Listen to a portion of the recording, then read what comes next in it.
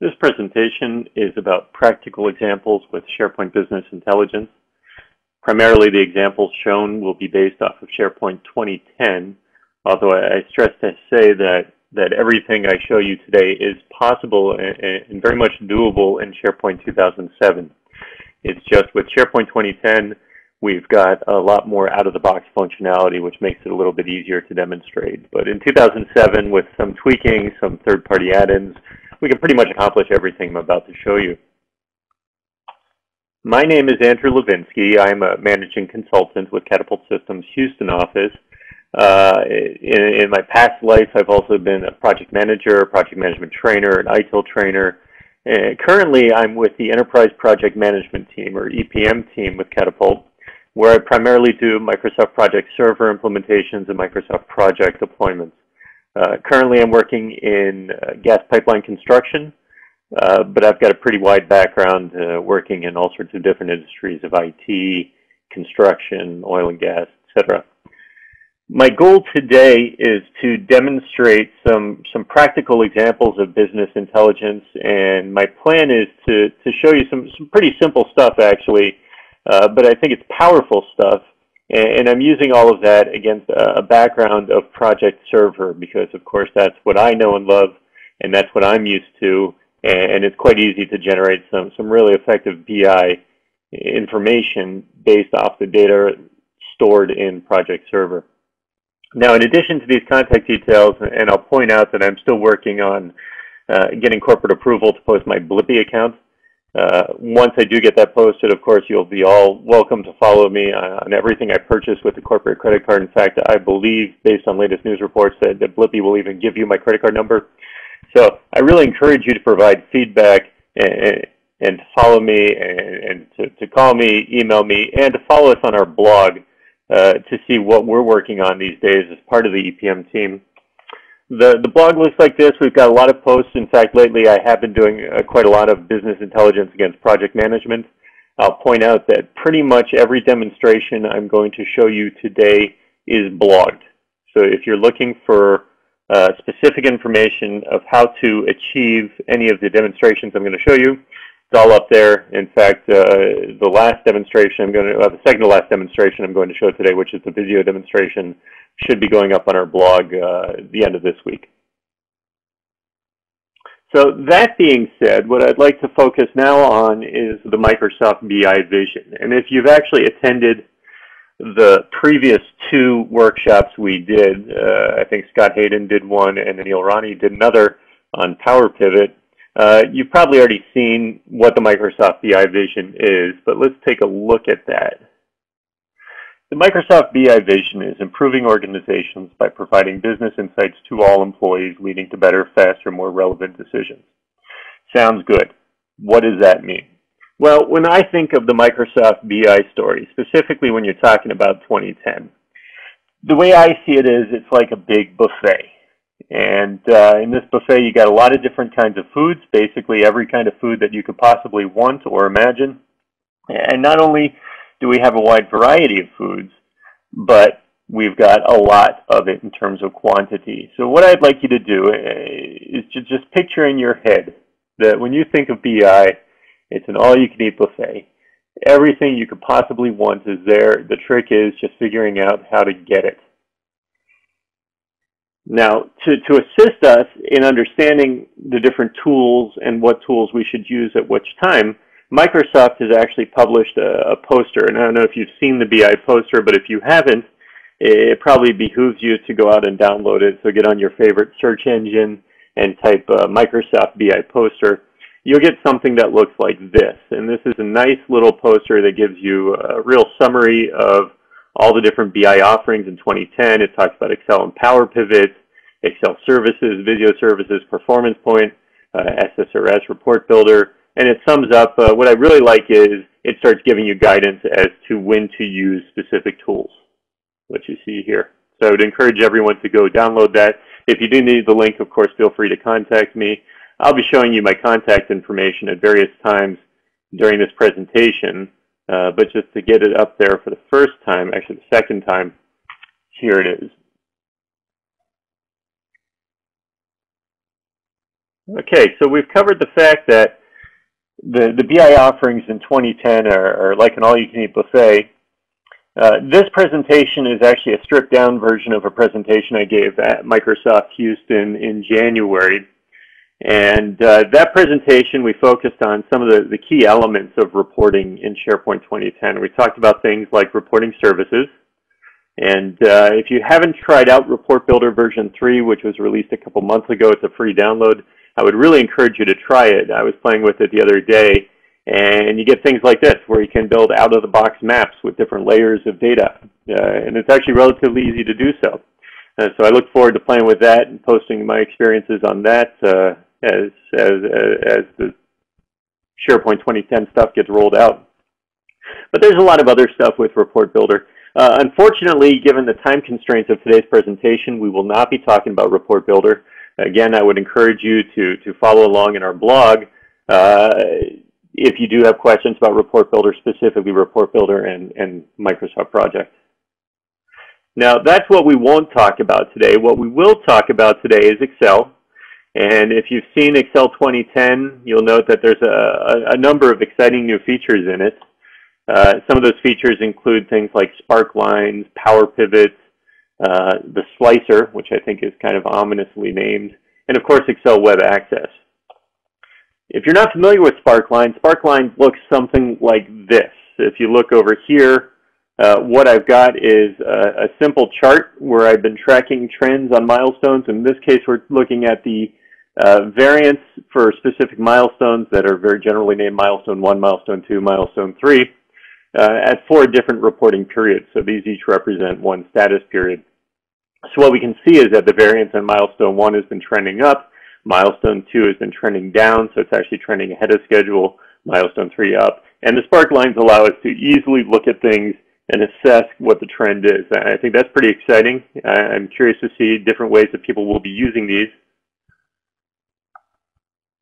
You also, in Excel 2010, have Power Pivots. And if you haven't watched Anil Rani's uh, presentation from, from a couple weeks ago, I would encourage you to do so. Power Pivot allows you to pull in uh, a lot of diverse enterprise repositories of data, pull it together into Excel into one simple reporting package. And if you look at this, you'll see here's a nice table. looks just like an Excel interface.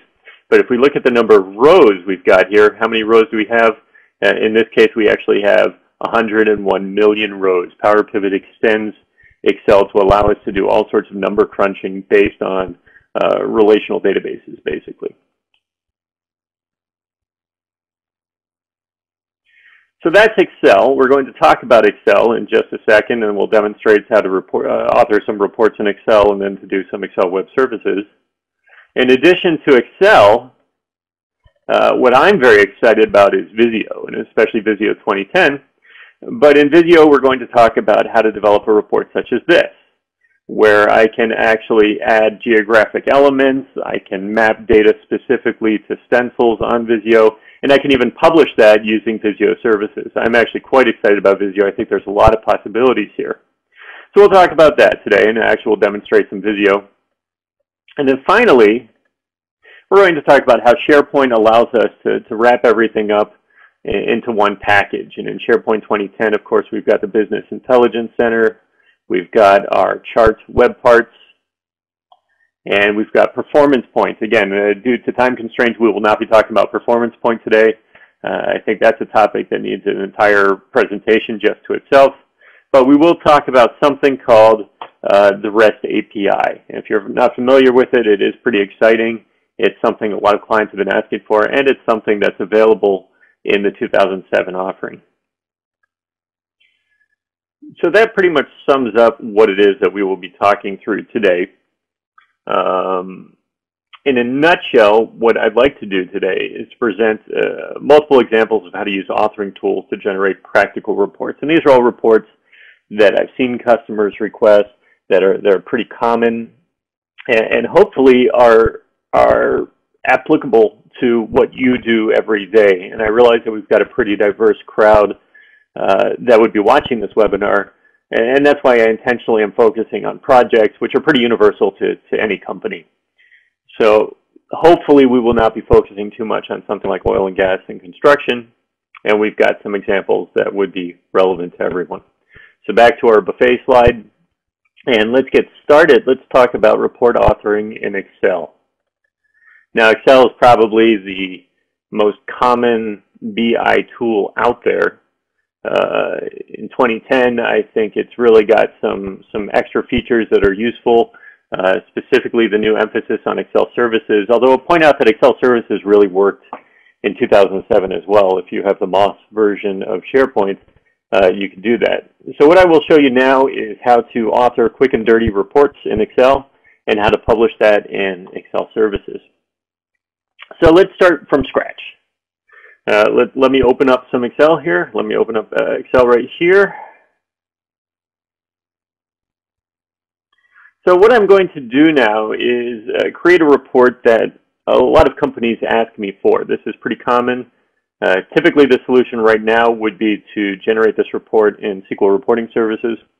But what we have here is a project management methodology. Let's say that the company has standardized. We have the same set of six or seven milestones in every project.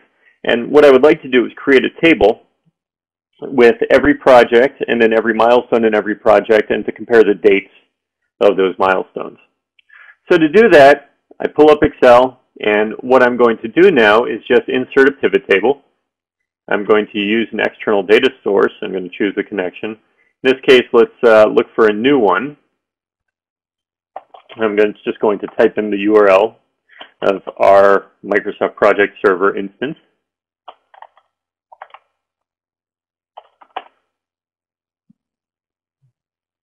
And once we pull up that instance, I should get the Business Intelligence Center. Within the Business Intelligence Center, I've got something called Data Connections. If you haven't played with Data Connections yet, you probably should. Uh, we're going to come back after this demo and take a look at our data connections. But in this case, what these are our prepackaged collection of data. So think of this as either the server admin or someone in IT or, even someone in the business intelligence group has developed uh, an Office data connector, which, which already comes plugged into different SQL databases. It's already pulling the data into one table, and we can, we can suck that data into Excel and digest it at our leisure. So in this case, I'm going to pull up my demo Office data connector. What that's going to do is actually go straight out to my SQL database through a, a connection file, and it's going to download some data. So here we have a number of fields. So here's what I'm going to do. I'm going to put my project name in the column label. I'm going to make a filter of milestones. I'm going to put the names down in the rows. Uh, let's create a filter here, true. In this case, I don't want every single project I have.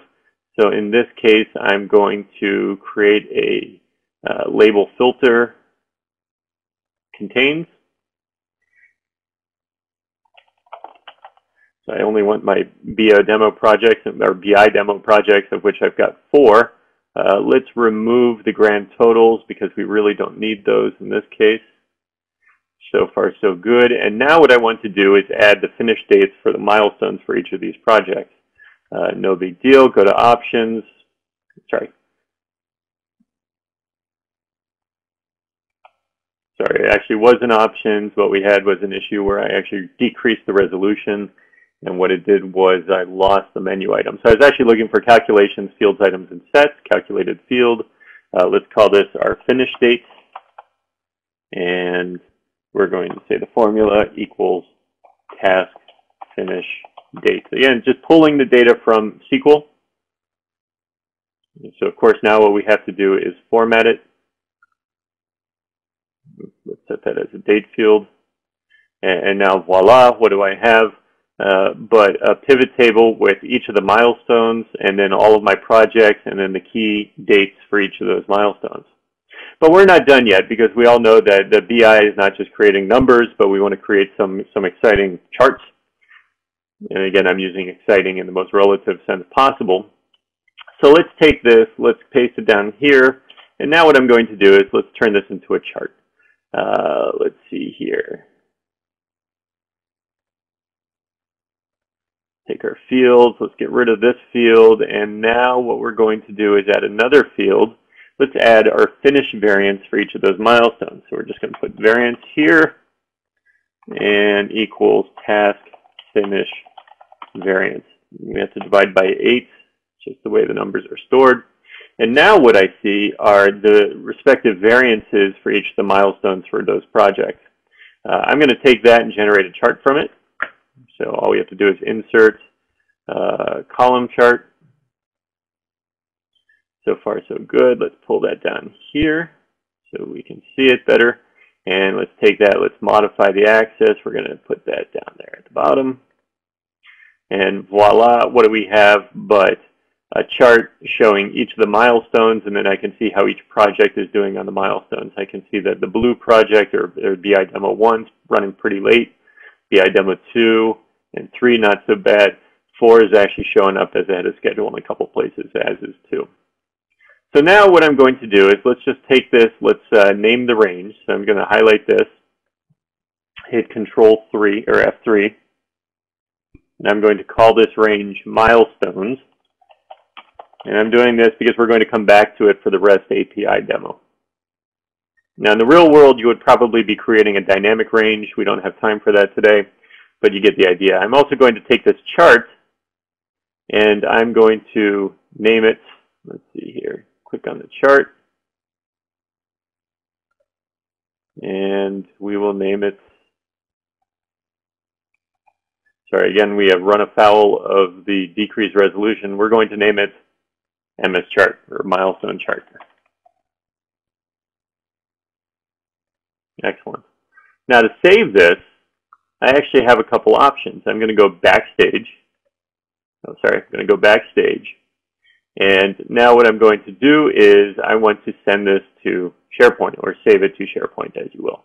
And in this case, I'm going to save it to my BI Center.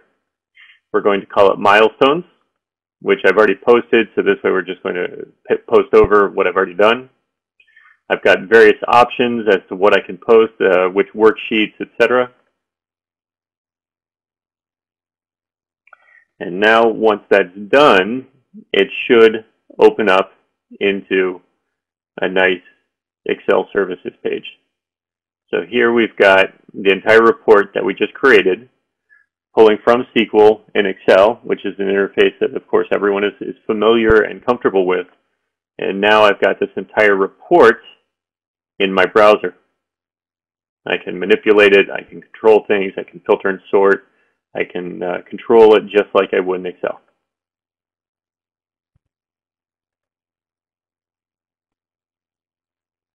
So let's close that out.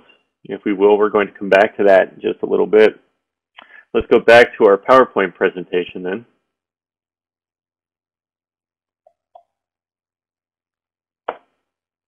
And let's talk about ODC files for a second. And actually, tell you what, why don't we actually look at our ODC files. So let's go into SharePoint for a second.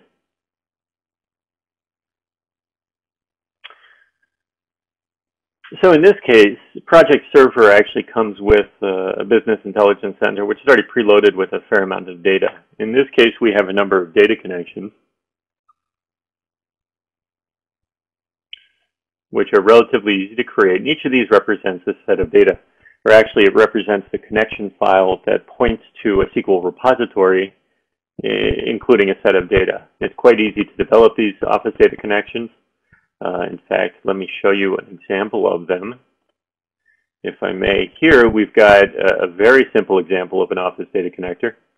In this case, we've got all of our, our connection data up here, and at the end of the day, it's just telling us it's going to go to a table called MSP EPM Resource User View within the Project Server database. Now, if we want to get slightly more complex with our ODC files, we can do something like this, where it's actually going out to multiple tables collecting the, the various fields that we specify. And this is, by the way, how we can control some of the security. I, obviously, we don't want to give everyone access to all of the data in Excel. But here, we can actually control what data they have access to. And then we can point them to a specific ODC, and that allows us to trim it. In this case, we're actually joining two tables. Let me show you where we've got that here. We are uh, joining our EPM task, or task level data, with our project level data right here, EPM project user view. So this is just one example of how you can pull multiple tables together. I'm going to show you how that would be actually implemented in just a little bit. Let's zoom back out if we could. So that's it for Excel Web Services. You can do a lot of interesting things with these. You can create all sorts of dashboards. You can actually surface a lot of that into Performance Point. And I think this gives a lot of flexibility and increased user satisfaction, let's say, with the business intelligence offerings out of Microsoft. So that's it for Excel. Let's talk about Visio now. So at Visio, it, it pretty much works the same way. I, I, can open up Visio, which I think is probably one of the most underreported or underutilized reporting tool in the Microsoft sphere. And I can do all sorts of reports with Visio. In fact, uh, Visio 2010 has increased support for multi-touch uh, user interfaces, i.e. on a tablet PC, which as I see it brings us one step closer to the intersection of, of corporate reporting and finger painting, which is very exciting for me. But in Visio, again, we, we take our source data, which might reside in an ODC file or in SQL, and we surface that in Visio, and then we report on that with Visio services. We can do any number of different uh, examples. Here we've got a collection of project type diagrams that people have created in Visio. Uh, this is the project timeline, which I've actually blogged about how you can actually create a timeline view of a project and link it dynamically back to the server. And the classic example that we've seen in a lot of the BI demos is the fault tree analysis, which, which for me, coming from an IT service management background, is pretty exciting. That you can actually do all sorts of things in terms of service management, service monitoring, just through Visio. So that being said, let me show you real quickly how to create a, a nice little report in Visio. Uh, this is a report based off of a couple examples I've seen. And what we're going to do is create a map of project server data. So let's take a look at this real quickly. Let's go up to Project Web Access. So what we have here in Project Server is I've created a, a set of projects. And each of these projects represents an oil field well. And in this case, we've got eight wells. So I've got well two, basically one through eight. Now, to maintain each well, I've got a drilling rig, which is uh, almost like a, a four to five story building on wheels that needs to come to every well in turn and drill. And this causes massive disruption to the work that's going on at any well at any time. So it's important to, to make sure that we, we keep a tight schedule of when the rig is going to show up. Additionally, a rig is a very, very expensive piece of equipment. So we want to maximize our use of the rig. So in this case, what I've done is I've taken all these projects, I've created a bunch of tasks, I've assigned the rig, and then I've leveled it. So it's a classic resource constraint scenario where I'm maximizing the use of one resource uh, trying to, to, to alleviate the bottleneck, if you will, of that one resource. So how are we going to report on that? How do we want to take that data and put it in an interface that is easy to use, is intuitive, that people will be comfortable looking at? What we're going to do is, let's just open up Visio here. We're going to create a blank drawing. And let's just modify that, if we will. Let's turn off auto size. Let's change the orientation to landscape. And the first thing I'm going to do is let's insert a map of our target area. In this case, we're going to use a map of Prudhoe Bay. Uh, Prudhoe Bay is uh, the oil field in North Alaska, just off the Beaufort Sea. So let's see, Visio demo, and we've got a picture of Prudhoe, helpfully provided by Bing. And let's crop that if we could. And now we've got a nice background. The, uh, I don't know what you call that, orange square arrow thing representing Deadhorse. If anyone watches uh, Ice Road Truckers on the Discovery Channel, uh, this is pretty much their area. So let's grab some stencils here. I've actually created some stencils already. Uh, these are stencils that I created by uh, using images from a site called istockphotos.com where you can basically license photos. Then I took a free photo editing software, uh, removed the background, and now I can use them as Visio stencils. So we're going to put a couple offshore platforms right out here in Prudhoe Bay. This is where you'd be driving on the ice road in the winter. And let's take a couple wellheads. So these are some wellheads. Now you'll see with the wellheads, let me zoom in here, that I've actually got dates associated with them. And what that is, is just a default date, uh, 429-2011.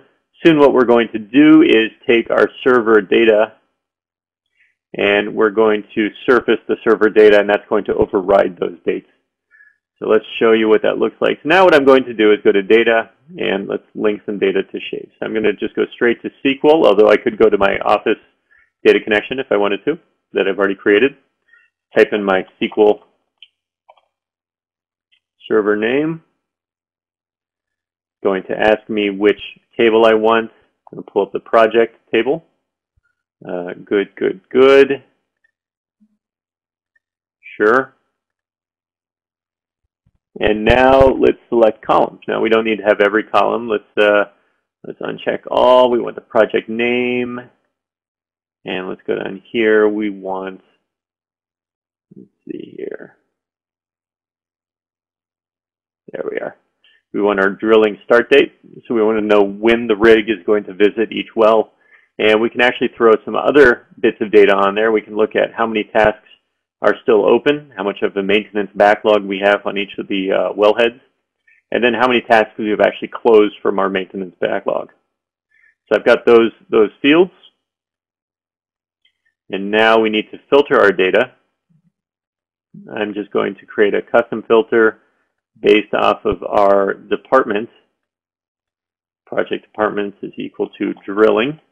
This is going to pull up all of my drilling projects. Looks good. Getting to hit OK. It's asking for a uh, primary key. Let's go here, project name, and finish. So now what I've got are the drilling dates for each of the projects, and this is dynamically updated from project server. All I have to do is take these projects and map them to my wells. So let's say I'm going to take, uh, this is well 1, let's put well 7 over here. Uh, let's say well 4 goes here, well 3, and finally well 6. So what you see now are the dates uh, that the rig is going to show up. Now in this case, I think somehow we got 723-2010 probably a glitch in how I set up the original project and project server, but we're not going to worry about that too much. Now, in addition to having this nice report, and let's, let's kill this window here, actually let's kill this window here, what I can also do is I can show shape data. So in this case, I can click, and what you'll see is, as I'm clicking, the dates change, the data changes, because it's just a different report to show different data from the server based on what I've selected up there. Now, what I'd like to say is that this section right here is almost can be treated as the space for rent because honestly what you can do here is put any sort of data you would like. You know, we talked about the ODC files that I can actually combine multiple database repositories into a single ODC file, this would be a perfect case. I could actually go out and pull my well production system with its data in some sort of SQL repository, merge that with my Microsoft Project Server data, and now what I've got is all the data about a specific well, uh, perhaps contact information for the relevant personnel, and all I, all I need to do to navigate that is to just click around within my Visio diagram. Now, just like Excel, Visio 2010 allows me to publish to Visio services. In this case, I can save it and save to SharePoint, in which case I can actually save it as a VDW, Visio drawing for web. Unfortunately, at this point, uh, I'm going to have to fall on screenshots to show you what that looks like uh, because I'm still in a beta environment of SharePoint and Visio right here on my laptop right now is the, the release to market version or the release candidate. And the release candidate does not play nicely with SharePoint beta. So what that what that looks like when you publish it is this. Let's take a look. Looks pretty much just like the Visio diagram. But in SharePoint, one, of course, I don't need Visio to access it. And two, just like on the Visio diagram, I've got access to my shape window. So as I click around on the different wellheads, it will expose different data in that shape window. To me, that's pretty exciting. To me, I think that there's a lot of potential in Visio uh, for reports, specifically Visio for reports and, Visio Web Services, and, and especially now that users don't have to have a full license to Visio to see that. So we've talked about Excel. We've talked about Visio. To wrap things up, let's talk about SharePoint and how SharePoint ties everything together, allows us to tie everything together. And for that, I would like to talk about the REST API. Now, there, of course, there's a lot of examples, a lot of ways we could talk about how SharePoint ties everything together, but I found the REST API to be a nice, succinct way uh, pointing out the power of SharePoint 2010. As I mentioned at the beginning of this presentation, the REST API is available in 2007. You have to go to, I believe it's, it's the folks from Bamboo, uh, have released a third-party add-in, which is a free download, which can be implemented in SharePoint 2007. So what is the REST API? Well, what happened is, as you may remember back in Excel when we were doing our Excel demo, we saved the Excel file to SharePoint. We, we, we named it with a range. We named the chart MS chart. And what we can do if we know those names is we can actually generate some URLs from them. So let's take a look at this. So if we know the right syntax, what we would see is that we actually have URLs. In this case, we're looking for our milestones.xlsx file. And specifically, we're looking for a chart called MS chart. And if we take that URL, we can paste it into our browser, and that chart comes up. Now, what can we do with this? Well, let's take a look at some of the, the options. One, let's say I created a project site, or not a project site, I created a site for the PMO. And this contains a monthly report of all the data that our PMO is tracking. So on this site, I put a nice Visio web part or a Visio viewer web part. And what you can see here is that I can navigate this just like in Visio. Uh, I can expose the shapes page Well, I could if it wasn't off the page right now. Let's see if I can get it to show up. No. Uh, unfortunately, it's because I changed the resolution. It looks like it's right off here to the right. And this is, again, SharePoint beta. I'm hoping that this was fixed in uh, the release candidate.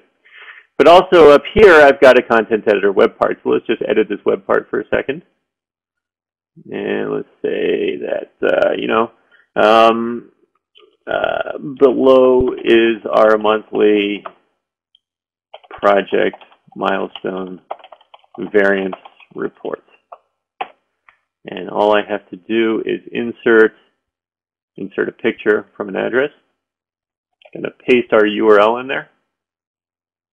And now I'm going to see, stop editing. Let's take a look at what our page looks like now. There we are. So we've, we've put our chart in there. It's dynamic. It's updated based on our Excel services. This, by the way, has expanded the column with the web part. So now I can get my shapes button to show up. And what you see is, as I click around, let's see, there we are. Get that compressed. You'll see the different dates showing up. Very easy to use interface.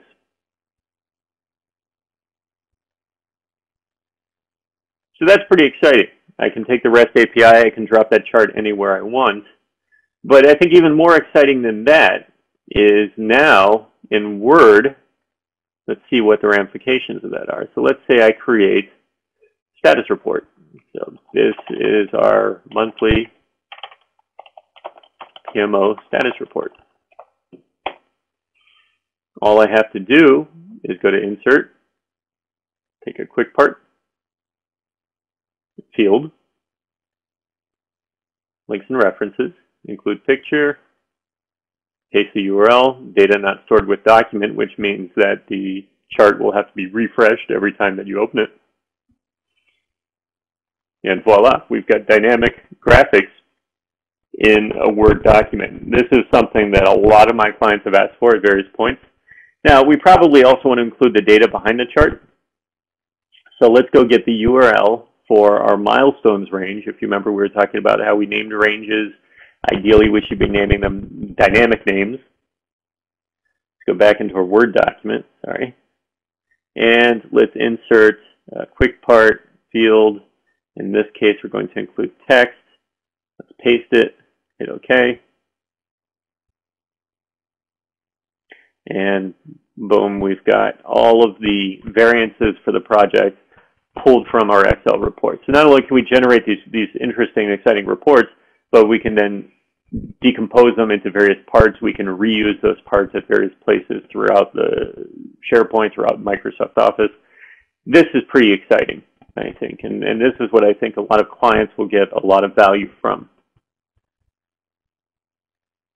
So that pretty much covers what I wanted to talk about today and that is all the different reporting elements within the SharePoint 2010 stack, uh, which are, again, available in 2007.